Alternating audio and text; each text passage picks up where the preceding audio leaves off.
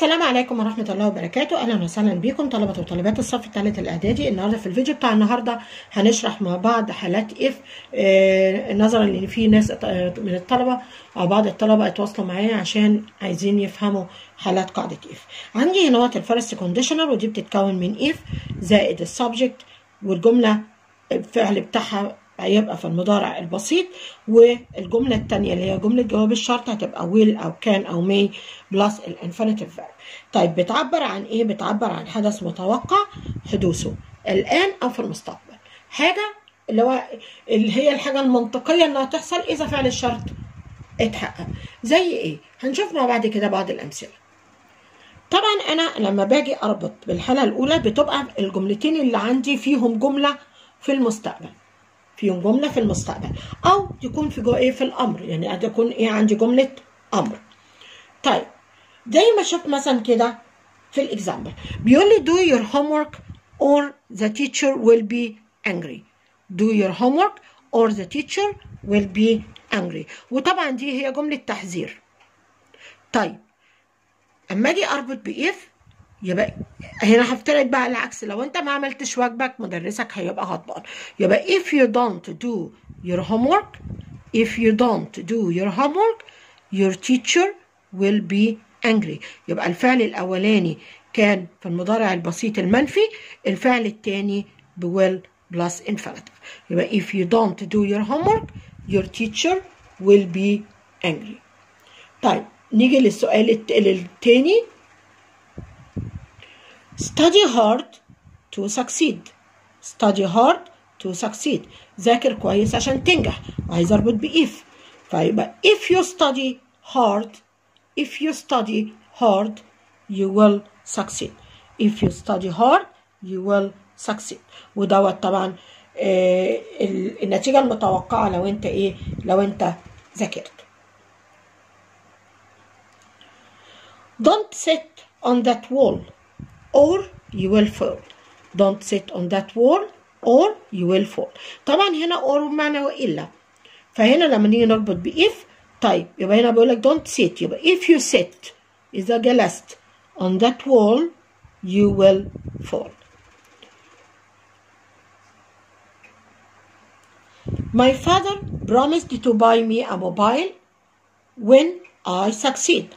My father promised to buy me a mobile when I succeed. Promise يعني إيه؟ وعد إن هو يشتري لي موبايل لو أنا نجحت. يبقى if I succeed if I succeed لو أنا نجحت my father will buy me a mobile. وده بنعبر بيه عن الايه عن الوعد. السكند conditional بتعبر عن حدث غير محتمل. غير محتمل. يعني مش محتمل ما فيش احتمال إن هو يحصل. لا دلوقتي ولا في المستقبل. لكنه غير مستحيل. يعني إيه؟ يعني لأي سبب من الأسباب. إذا تحقق فعل الشرط يبقى جواب الشرط هيتحقق. يعني لو بقول أنا لو أنا غني هشتري عربية.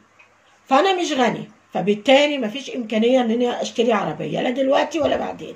لكن لو لأي سبب من الأسباب اتغنيت يبقى ساعتها هشتري العربية. طيب ال form بتاعتها بتتكون من إيه؟ بيتكون من if زائد ال subject زائد past simple اللي هو الماضي البسيط. وطبعا الماضي البسيط يا إما فعل مضاف له ed يا إما irregular past الجملة الثانية اللي هي جملة جواب الشرط هتبقى ال subject مع would و could و might sorry would أو could أو might زائد infinitive verb. طيب نشوف مع بعض برضو في المثال. بيقول لي if I wasn't ill. If I wasn't ill. يعني لو لم أكن مريض I would travel with you. I would travel with you. كنت سافرت معك. طيب هل أنا هقدر أسافر؟ لا. لأن أنا إيه؟ لأن أنا مريض. لكن لو بقيت كويس أنا ممكن إيه؟ أسافر معك. طيب نشوف برضو من ضمن الاستخدامات لقاعدة if الحالة الثانية هو التعبير عن حدث تخيلي أو غير حقيقي. حدث تخيلي أو غير حقيقي. طيب حدث تخيلي زي مثلا أما أقول أو لو الحدث الغير حقيقي بقول I if I were taller لو أنا أطول I would join the basketball. If I were taller I join the basketball team. وهنا but I'm not taller. أنا مانيش إيه مانيش طويل وده حدث تخيلي If I were a bird I would fly. If I were a bird I would fly. وده برضو حدث تخيل أو غير حقيقي. طيب الاستخدام الثالث اللي هو النصيحة. ودي بستخدم لها form معين اللي if I were you I would plus ال infinitive verb. ودي بتساوي you should plus infinitive verb. نشوف مع بعض بعض أول مثال معايا بيقول لي you should study hard you should study hard عايز استخدم if يبقى هنا بشيل you should وأحط مكانها if I were you I would هحذف you should حط if I were you I would طيب يبقى if I were you I'd study hard number two I advise you not to smoke I advise you not to smoke وين عايزة استخدم برضو if طبعا I advise you يعني أنا أنصحك يبقى دي برضو نصيحة يبقى أنا هنشيل I advise you not to واحط مكانها if I were you مش هحط بقى المرة دي would هحط wouldn't يبقى اف اي وير يو اي وودنت سموك نمبر 3 هي كانت ريد وده طبعا بقى الحدث اللي هو الغير محتمل. هي كانت ريد بيكوز هي دازنت جو تو سكول يبقى هو ما بيقراش لأنه ما بيروحش المدرسة. طيب هو ده هل هو محتمل يعرف يقرأ؟ لا لأن هو ما بيروحش مدرسه طيب لو جه بقى حد كده تبرع إن هو يوديه مدرسة ولا يعلمه هيقدر يقرأ يبقى الحدث مش مستحيل. ولكنه غير محتمل إنه يحصل الآن أو في المستقبل. أوكي؟ يبقى he can't read because he doesn't go to school. لما أجي اربطها باف طبعا نلاحظ إن الجملتين في المضارع البسيط. ولما ألاقي عندي الجملتين مضارع بسيط يبقى دي حالة تانية. يبقى هنا if he went. يبقى هحول بقى هنا. اولا if بتدخل مكان because. يبقى أنا هجيب الجملة دي في الأول.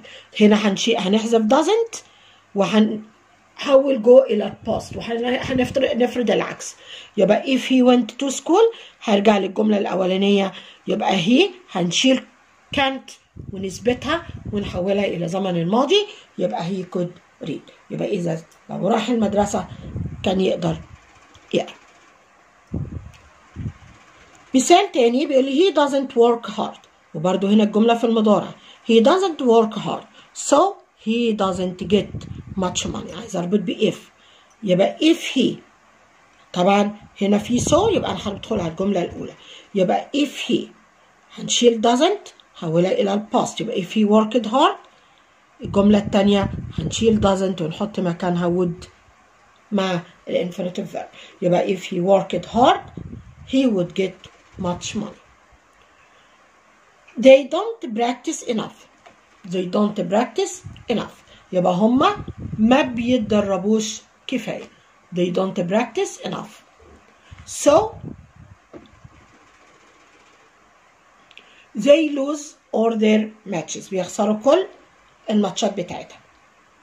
طيب أنا عايز أربط بإف يبقى بقول هنا وات طبعا so هندخل على الجملة الأولى هنا يبقى if they هنشيل don't وهنحول الفعل إلى الباست يبقى if they practiced well أو if they practiced enough كوما هنشيل so they هنحول بدل lose هنحط بقى wouldn't lose. يبقى they wouldn't lose. Or their matches. أو ممكن أعملها بطريقة تانية. أقول if they practiced enough they would win all their matches. يبقى لو هم اتدربوا كويس مش هيخسروا كل مبارياتهم أو لو هم اتدربوا كويس هيكسبوا كل مبارياتهم. ننتقل لل third conditional وال third conditional بتستخدم عشان تعبر عن حالة مستحيل إنها تتحقق. الآن أو في المستقبل. طب ليه مستحيلة؟ عشان فعل الشرط بتاعي حصل في ال past فما أقدرش أغيره. يعني مثلا أنا كان عندي حفلة امبارح فيها كل اصحابي بس أنا ما رحتش طيب هل بقول لو أنا كنت رحت كنت قابلت صحابي؟ طب هل أنا في احتمال إن أنا أقابل صحابي؟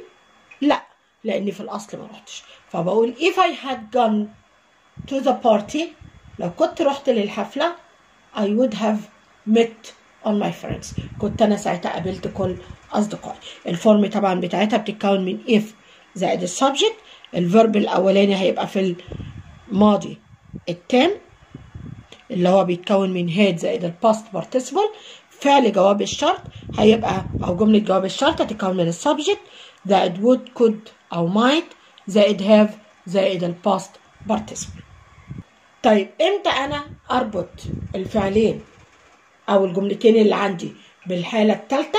لو لقيت الجملتين بتوعي في الماضي البسيط. نشوف مثال. بيقول لي منى didn't remember to bring her phone so she didn't call you. هي لم تتذكر إنها تحضر تجيب تليفونها فلذلك ما اتصلتش بيك طيب يبقى if منى طبعا هنحذف so so ويبقى if هتدخل على أول جملة. هنحذف didn't ونحول ال verb بتاعي. مش أنا بقى مش هحوله past.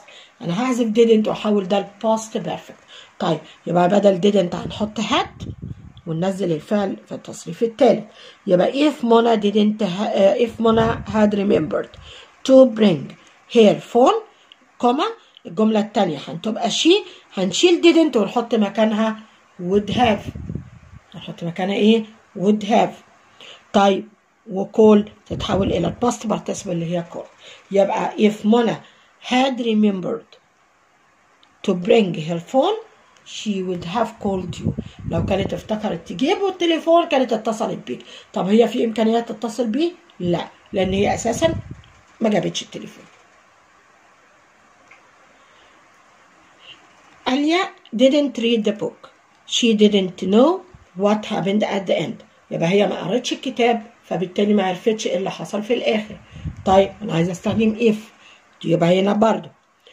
يبقى if علياء didn't هنحذفها ونحط مكانها had وريد هي هي read لأن التصريف التالت واحد. يبقى if علياء had read the book كوما الجملة التانية هتبقى she. هنشيل didn't وهنحط مكانها would have. الفعل بتاعي هيتحول للتصريف الثالث اللي هو نون يبقى if علياء had read the book she would have known what happened at the end Sammy didn't play basketball because he forgot uh, he forgot sorry في الباست he forgot to bring the ball يبقى if Sammy هنشيل didn't آه معلش آسفة. إن أنا هنبدأ بالجملة الثانية اللي هي بجملة بيكوز يبقى if سامي. طبعا أنا هستبدل بقى هي بسامي. if سامي. hadn't. طبعا هنا forget في في الماضي ومثبتة. يبقى أنا هنفيها. يبقى بدل forget هنحط hadn't. تصريف الثالث forget forgotten. to bring the ball هنرجع للجملة الأولى. كوما هي هنشيل didn't ونحط مكانها would have. تصريف الثالث لفعل play هو played يبقى she would have played to uh, basketball I didn't see the cam that camera in the shop I didn't buy it طيب عايز اربط ب if يبقى هنا وقت هنشيل didn't see ونحط مكانها إيه برافو عليكم تبقى had seen يبقى if I had seen that camera in the shop I هنشيل didn't نحط مكانها would have زائد التصريف الثالث.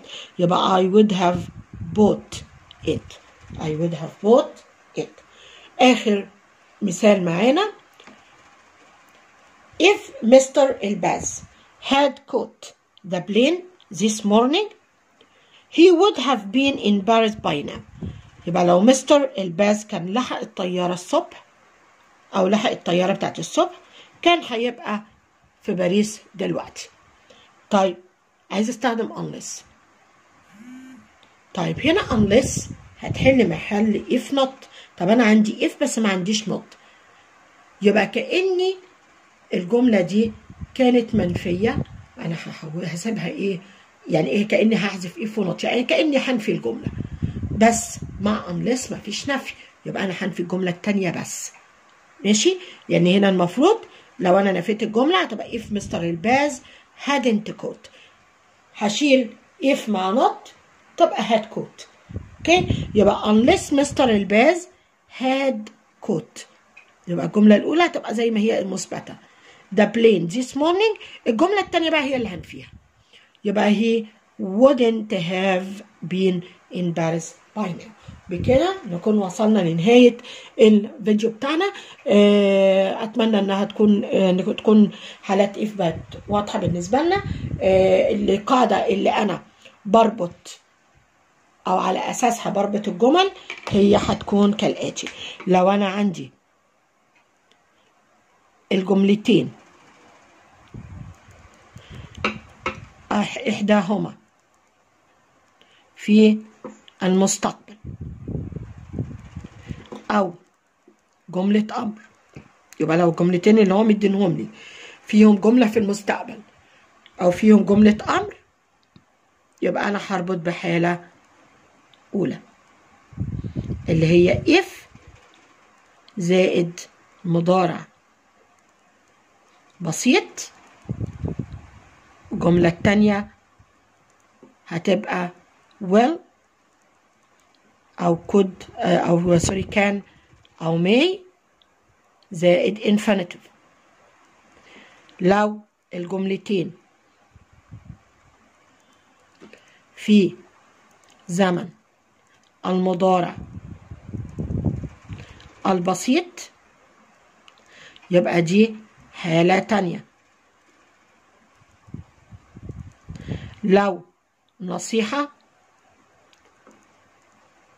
هتبقى حالة تانية. يبقى هتتكون من if زائد ماضي بسيط. الجملة التانية هتبقى subject زائد would أو could زائد الانفينيتيف طبعا أو might. طيب لو هي نصيحة هتبقى if I were you I would زائد الانفينيتيف verb. طيب. لو الجملتين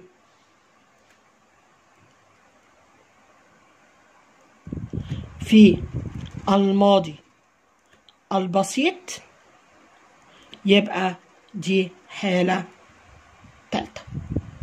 ودي هتبقى if زائد subject زائد had زائد past participle والجملة التانية هتبقى subject زائد would have زائد past participle وبرضو ممكن أستبدل would بcould أو might. بكده نكون آه وضحنا كل الاختلافات في قاعدة if. أتمنى أنكم تكونوا استفدتم until we meet again. Goodbye and good luck. وما ننساش نفعل الجرس ونشترك في القناة عشان يوصل لنا تنبيهات بدروس المراجعة اللي هن... هن... هنقدمها لكم في خلال الفترة الجاية. وعلشان توصلكم تنبيهات بليلة المراجعة إن شاء الله بكل النجاح والتوفيق. أنت